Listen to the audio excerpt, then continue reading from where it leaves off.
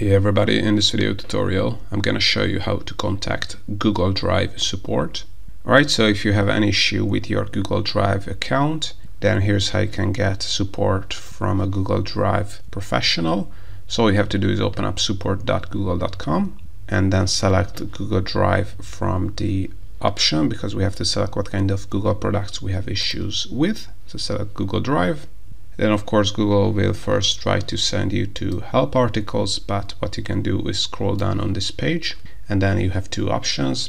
You can post to the help community, which will be a public forum post and you are more likely to get a quick reply, but if you want to get a more professional help, then you would select contact us here.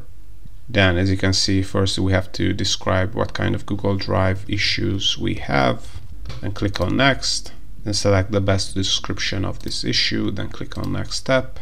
Then again they will try to send you to help articles but you can just skip this by clicking on next step here. And then we have two options to contact them. As you can see we can email Google Drive support or live chat with a Google Drive support person. So let's say we prefer email here so select email. Then you have to add your first name which product are you currently experiencing issues with? So drive gmail google docs photos or slides. You can add the description of your issue here in more words.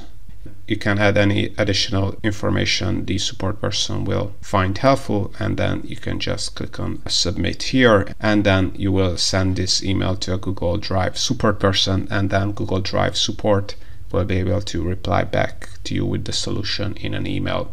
So on all this I can contact Google Drive support.